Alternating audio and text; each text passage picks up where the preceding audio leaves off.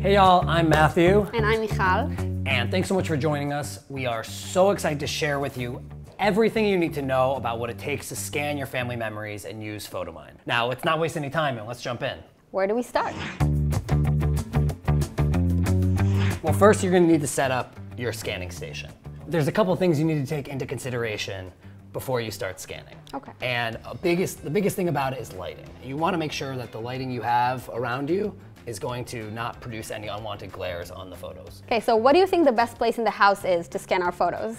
Well, it's really, really important to find a room with great natural light, right? We want it to just be very, very bright and very indirect. Something from the sides, big windows, somewhere where if you don't have the lights on, it'll still look bright and your photos look amazing after you oh, scan them. Sounds good. What you don't want is you don't want direct artificial light.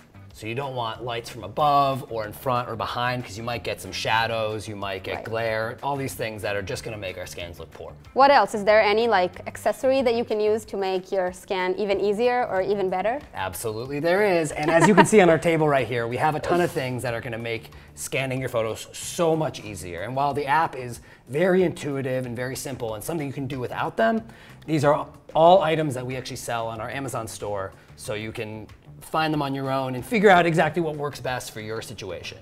Like this phone mount right here. So this I thing. I love this one so much. It's so cool. so while I'm setting it up, maybe you want to talk a little bit about how it'll help. Basically, it just you can attach your phone here and it makes your phone stable while you can use your hands to organize your photos and it just makes the processor a bit quicker and more easy. Yeah, absolutely, as you can see. Nice. Right? Just hovers above your light pad or above your photos, for instance, right? It moves, which is really It's amazing. nice because when you find the perfect angle and the light, you can just leave your phone exactly where it is and just move your photos around. Absolutely. Uh, in addition to something like this awesome mount, uh, you know, you can see right here we have this light pad, which is essential if you have slides or negatives. Yeah, because you need the backlight to make sure the image is clear when you scan it. Exactly. Have you ever used one of these guys too? Once, Joe. so here's we got the phone tent, which is amazing for as we were talking about before with glare, right? You can put your photos inside of this, and you can scan this way. yeah, it like makes the light softer. Exactly. Um, and have you tried one of these guys yet? I have not tried it yet. I'm so excited. This is a Bluetooth clicker that you can connect to your phone, and it'll actually allow you to scan without having to press the capture button. So you don't have to touch your phone at all. Exactly. These are some of the items that we have. We also have a bunch of other things like phone stands. We also have gloves if you're, you know, don't want to ruin your negatives or your slides. You have delicate things. And we have this other. We have this new mount too, which is, you know, basically the same point of this one, but this one can also hold an iPad. Um, Is there anything else or can we dive into it? we can start scanning. Let's do it. All right, and here we are, the meat and potatoes of It's about time. We're gonna get scanning. Okay. So now, what I'm gonna do is I'm gonna take my phone, and we're gonna open the Photomyne app. What I'm gonna do is I have all these nice photos here. I'm gonna just scan this one right here to start. Okay.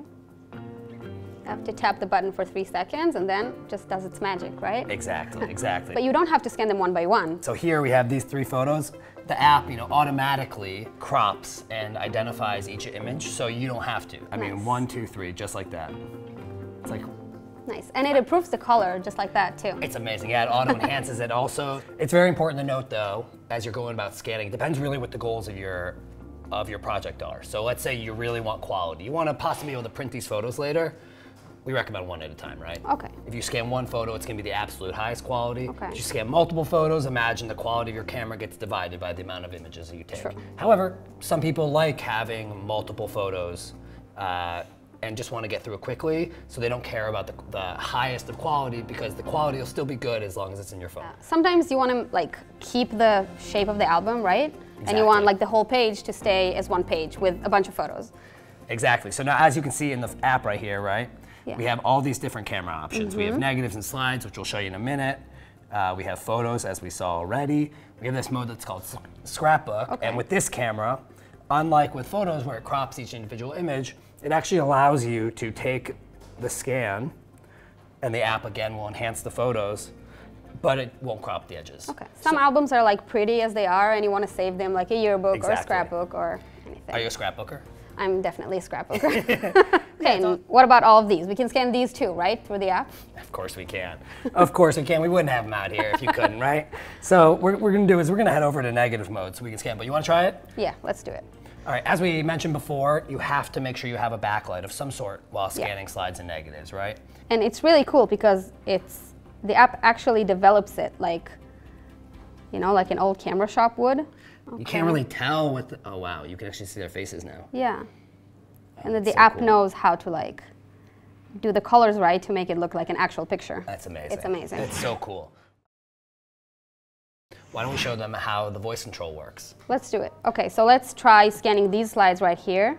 What so we have to go to slides Let's go to slide mode. okay.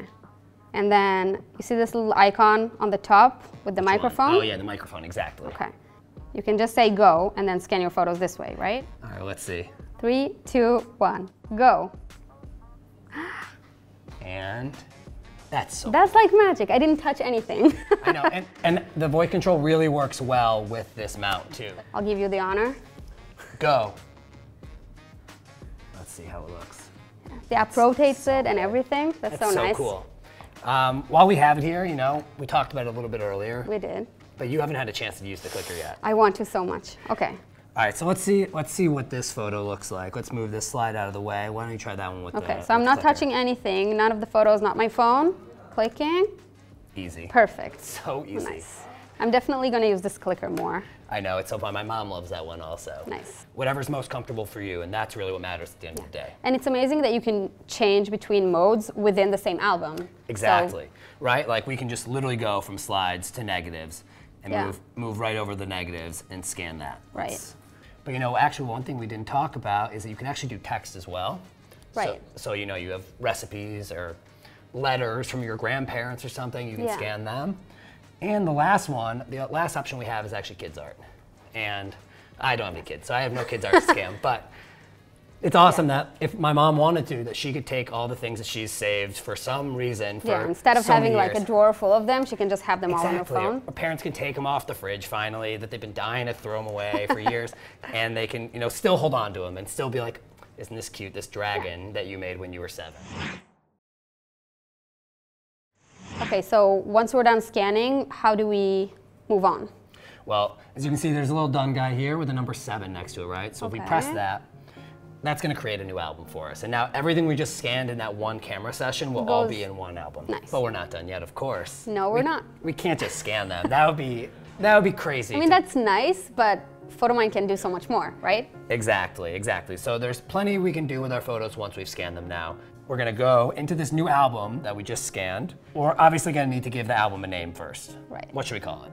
We can call it having fun, because this is what we were doing here, right? We are having fun. So we're gonna call this album Having Fun. And in addition, you can add a date too. So today is 2023. Let's just add a year. But if we wanted to add a day and a month, we could as well. Right. And we can even add a location, right? So we can even add Photomyne Office.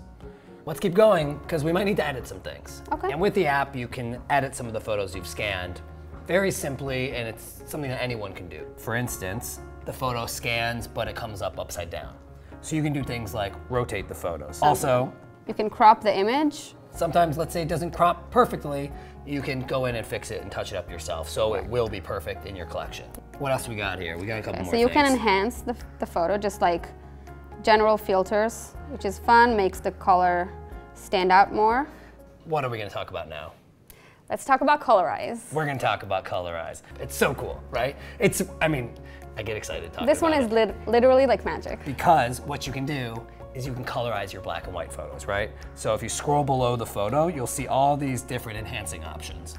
So what you're gonna do is colorize the photo, uh, and what you'll see is Wow, nice. look at that. Look at the color in her face. Wow. It's ama- honestly, it's amazing. I mean, it's really, it's really awesome. Just You so can- realistic. and we have another really, really cool enhancing feature. Okay. Now you see this little diamond at the top. Mm -hmm. You know what that guy does, don't you? If you tap the diamond on your photos, it's called it's our feature called Sharpie, and it'll actually sharpen the face of your photo. And as you can see in her face now, let me look at that. It's just so clear. It's nice. Wow. Perfect. We're not gonna stop there. No, we're not. Because the story's not complete. Right. And the memories behind the photos are just as important as the photos themselves, right? Completely, completely. All right, so as you can see below, it says, what's the story of this photo? And this is where you enter all the awesome details that happen behind this photo. Right. So you can just say who it is, say when it was taken, you know? Exactly. Maybe there's a little story behind it, something funny, so- a little anecdote. You can put all that stuff in the in the details box there. And also, as you can see below it, there's a few other options here. So I really love voice caption. If you Yeah. want to press that one right there, and you can see that you can actually add a voice caption up to a minute long. So, so we have detect text. That's if let's say the photo has any text on the photo. Maybe it was a you know, uh, one of those Polaroids and you wrote a little detail on the bottom of it, the app will actually be able to detect it and you take that text and put it into the description. Um, that's a cool little feature, but Yeah.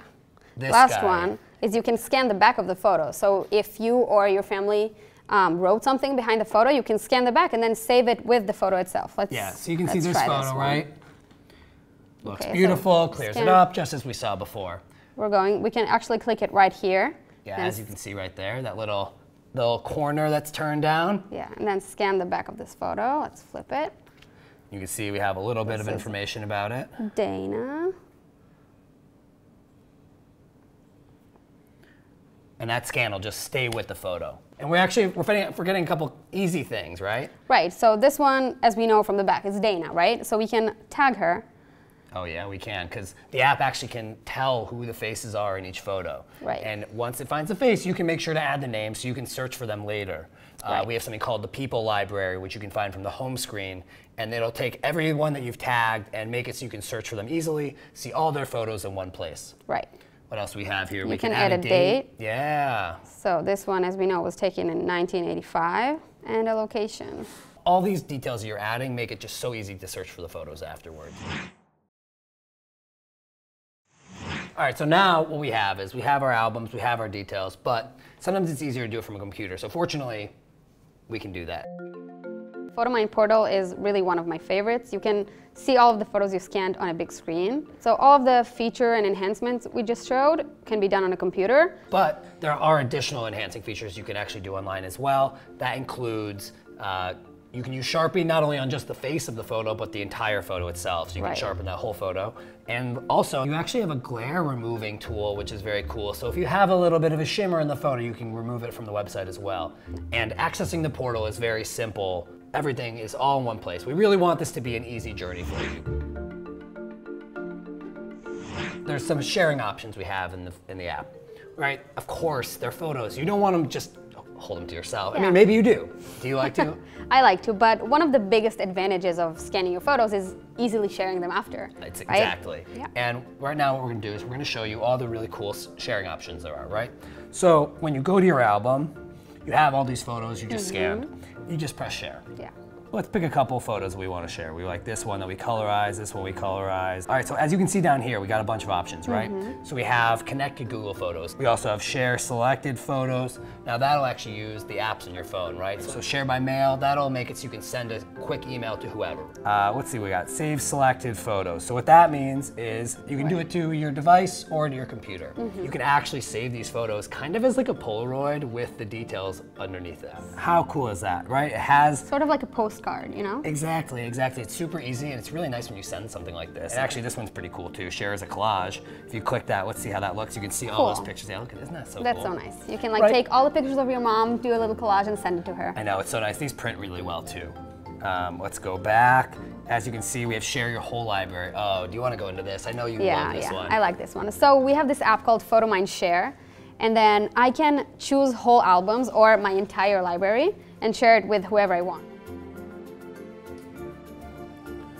Yeah, it's really easy. It's, what's nice about it actually is that it allows you to have some control over what photos you share, while Yeah. they can still feel like they're a part of this process, right? Exactly. right? So, like, let's say this one is like more personal or something, so I can, you know, not share this one, not share this one, but then share the rest of them. Yeah, exactly. And this is just a companion app that they download on their own. It's connected to your account through a specific code that you send them. Right. Once they set that up, they can see all your photos on their own phones. The cool thing is they can add details to it too. I don't remember all the stories from my photos, but Exactly. they might. So they can go in, they can add the details if they want, um, and then we can all enjoy them together. It's really nice. Exactly. You know, I think we've made it through everything, didn't we? I think so. I mean, we've scanned, we've shared. Now, Photomyne, of course, is an application that is anyone can download in the App Store or Google Play. However, the best way to actually use Photomyne is with a Photomyne membership. Now, a Photomyne membership is so, so crucial simply because it allows you to have unlimited use of the scanning features. So you can scan as many photos as you want. Unlimited backup, which is nice because then you don't have to save them to your phone. You just always have them saved on the app. And all of the cool features that we showed can be used, you know, in an unlimited way with a membership. Exactly, exactly. So I think we've come to the end of our Photomyne journey. Yeah, I think we've showed like the entire process of how to save your memories onto your phone. You have this library with all your memories and it's important to just share them and share the love and be a part of this with not only yourself, but with everyone that's been a part of your journey with photos and your family's history.